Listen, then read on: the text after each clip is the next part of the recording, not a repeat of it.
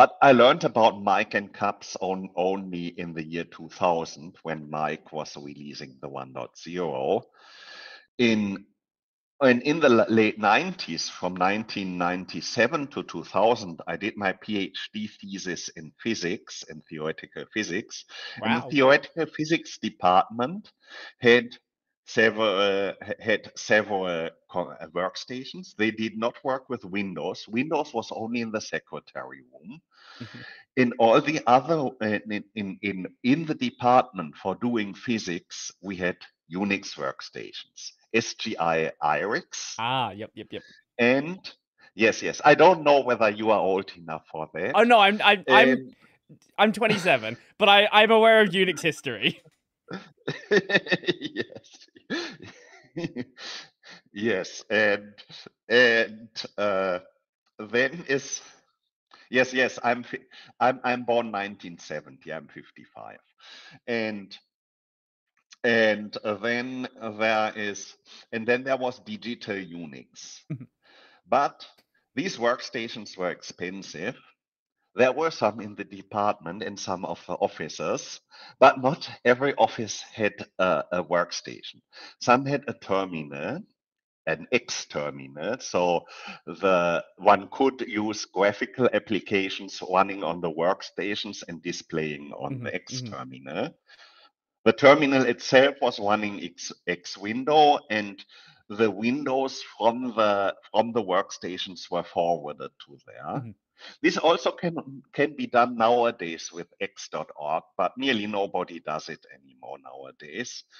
And uh, I don't know whether it's also possible with Way, Wayland. I think not. Um, and X11 style forwarding, no. You you can do it with X Wayland because X Wayland is a full X11 server.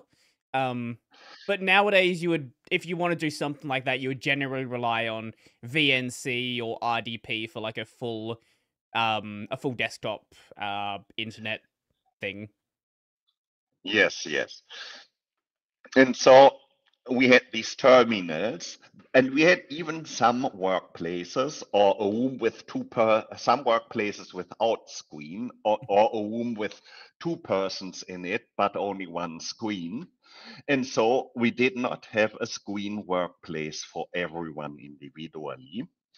And so in 1997, when I started to be system administrator, my first task was to put up PCs in, in, in the rooms and to install Linux on them. Mhm. As then you have once you have computers where you can do things locally, Mhm. but you have also X so that you can uh, use graphical applications running on the workstations. Mhm, mhm. So, and the, the operating system was SUSE 5.1, and we had it at a packet as a package of CDs, Mhm. which you can buy in stores. I can find a picture So of the- a CD. Oh, we yes, yes, yes. So you get uh, something like four or five CDs and and and a manual, and so these. Uh, so then I have installed Linux on these PCs. It was not as easy as it was nowadays, as there were many pieces of hardware which did not work with Linux. So it meant also that we had to buy some hardware, some graphics cards or so, and to change them in the PCs to make this work. Mhm. And so this way I introduced Linux to the network. So we had then a Linux, SGI, and digital Unix, SGI IRIX. And and so I put Linux into the landscape. And the pointing, we were still in the dark years of LPD. And you know, LPD is the line pointer daemon. Line pointer daemon. And you know, it's what a line pointer is. A line pointer is a pointer which has fixed letters to point only text. Hmm, okay. Like a typewriter, only may, uh, only with uh, several several ro- rows of, of letters to print a line to point a line at once, and so being faster. and but they could only print a grid of text like a typewriter. And for this, uh, the line printer daemon was uh, was designed, and so there was nothing with paper trace and duplex and resolution and high and low quality and so. The line printer daemon only has taken care to to carry the text over to the printer, mm-hmm. and and uh, there were also some PostScript printers, and then one started then uh, the free software developers started with small thingies like Magic Filter or so to control that GhostScript is put into the line. Hmm. And yes, uh, or for the non-PostScript printer goes, yes, for the PostScript printers, even not GhostScript. Mm-hmm. And for the no, yeah, yes, for the PostScript printers, one had in the client to take care to send PostScript. And is these these were the first this was the first standard protocol for printers and therefore graphical applications in that time have, have sent postscript to the mm-hmm. to to the printing system and these and then the magic filter and so which i uh, uh i mentioned this was that it puts GhostScript in the line to turn PostScript into other protocols like PCL or so, or or also for integrating the little drivers I talked in the beginning. Before we go uh, too about. far on from that, um, can you just explain what PostScript is? Ah, yes, yes. PostScript is a so-called page description language. It's a language, uh, so a proto um, or protocol, which is created to describe what you can see on a page, mm-hmm. on a printable page, like like in a book or like in a, uh, a catalog, an advertising folder, uh, also like in a magazine and so on. So mm-hmm. also with color and pictures and so on, not only text, mm-hmm. and with free placement of all the elements, with uh, free choice of fonts and si font sizes, font directions, and so on, so that you can do everything which you usually see in magazines and, and, and catalogs and, right. and flyers and so on. And PostScript was created by Adobe and they have made it like a, a, as a Turing complete programming language. This means that it was not only a row of, of fixed uh, instructions, put this letter there, put this letter there, but it was really a, a, a programming language. So if you wanted to put 10 letters there, you could write a loop and variables so that the 10 letters are not put on the on top of each other and so on. And and this could be really abused for example that uh, that people write write a chess program and then they play chess against their printer. Or ah. they they write a program which only 800 800 bytes and on the, and the printer needs 5 minutes of thinking be, be, before it starts printing, but then you get get nice ray tracing graphics on your paper. but on the other what side, what you're saying is you could play Doom on a printer like this. Yes, yes. But to play Doom, I recommend to try it only on a printer which does at least 24 pages per second so that you have fluent graphics. and it's not environmental friendly. No, definitely not. And it's definitely not cheap either. Yes, yes. Then, then better try to install Doom on a dishwasher and not on a printer. And and uh, then there, but but the, then one could theoretically or, or also even program malware. Mm-hmm. I, right. I do not know about any exploit which which happens, but it is an attack vector. Mm-hmm.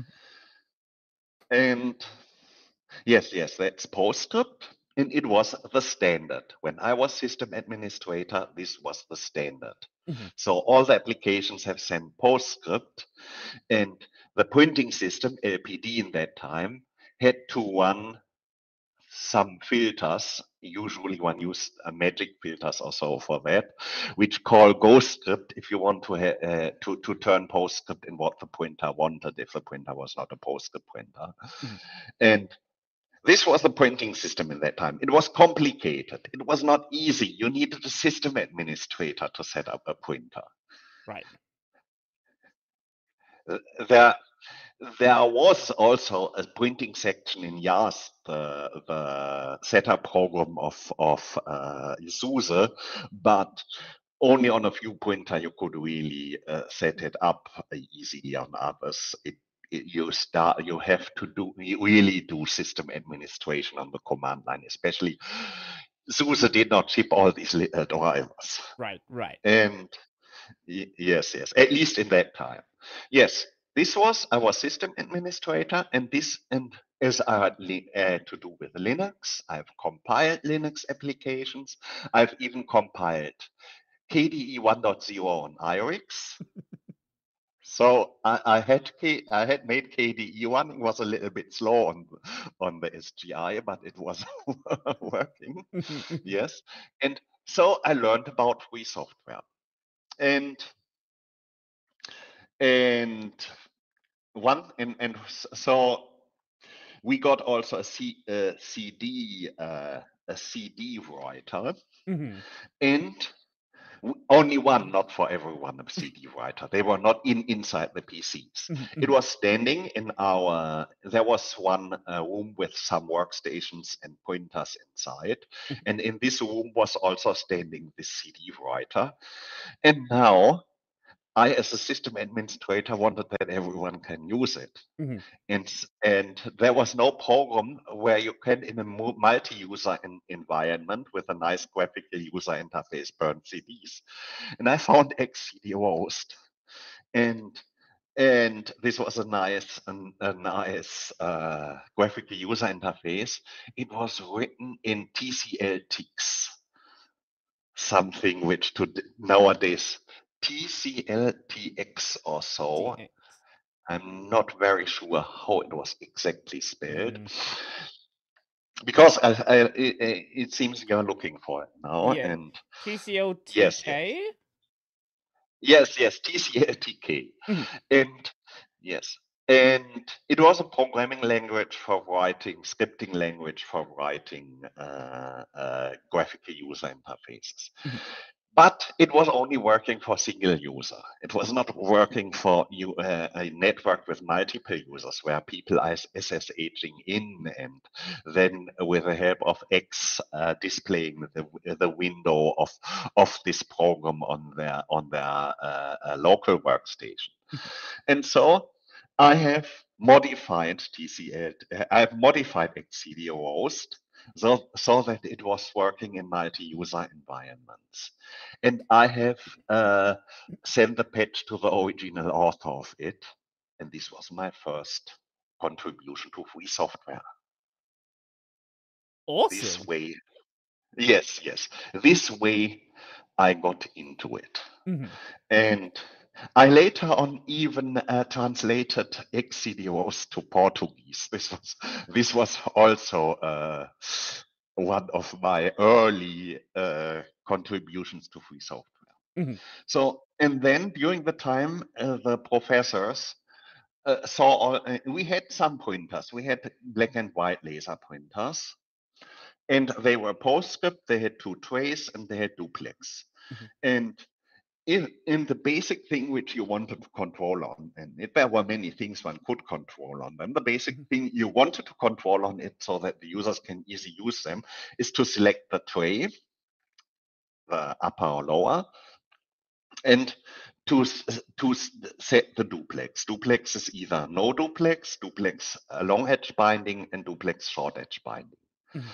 And so we had only LPD, and LPD does not support printer options as it was made for line printers. You can send a job, but you cannot accompany the job with options. There were some very ob- obscure options, Mhm. which were which made only sense on actual line printers, but we did not do, do not have that line printers.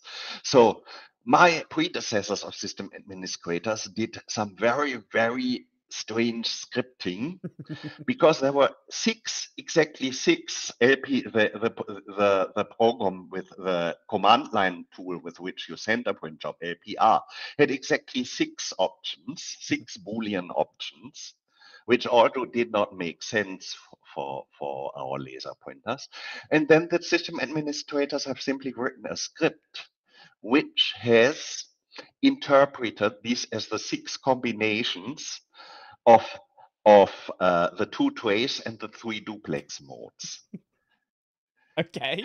And so so so option one was then upper tray no duplex. Option two was upper tray uh, uh, duplex long edge, and so forth. Right, right. But this at least conveys from the client to the server which tray and which duplex option you wanted, but it was very cryptic for the user. Mhm, mhm. And so they wrote also user scripts for the clients where the user could give uh, uh, some uh, some options like tray one, tray two, and duplex on, off, and long edge, short edge. And the, this these shells just converted these the the these options into one of the six LPR options, and then they send it off to the to the server. Mhm, mhm. Yes, yes, yes. And in the middle of two, th- and, and then the professors came and bought a, new printer, a color laser printer for 14,000 German marks, which was in the beginning when uh, the German mark was converted to euro, it was 7,000 euros. Mhm. And I think when one puts inflation and so so long time ago, perhaps it, it would be now 15,000 euros the the Mhm. effort which they had to make. But when you buy a laser printer of that type today, is everything uh, everything electronic that got much cheaper would would probably be be less uh, something like 500 or so. Right. So yes, or 200 Mhm, mhm, mhm. Yes, yes. And so they bought bought a color laser printer. Mhm. I did not as as in that time of the system administration, I was not taking care of printing. These other other uh, colleagues of mine did. This printer was a PostScript printer. I didn't know that.